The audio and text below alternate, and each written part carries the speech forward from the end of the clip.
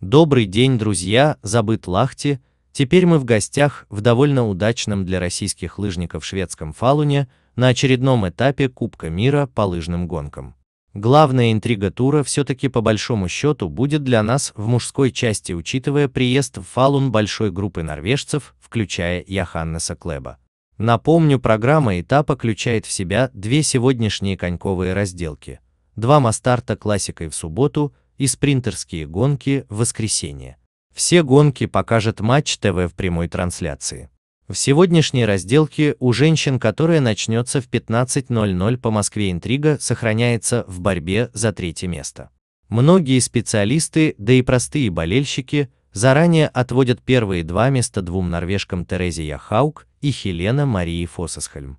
А вот за бронзу развернется ожесточенная борьба, и очень хотелось бы, чтобы наши тоже приняли в ней участие, хотя, признаемся, это будет непросто. Вот под какими номерами уйдут в гонку наши девушки.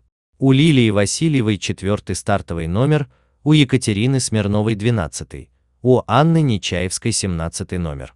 Юлия Ступак и Наталья Непряева под 35 и 37 номерами соответственно.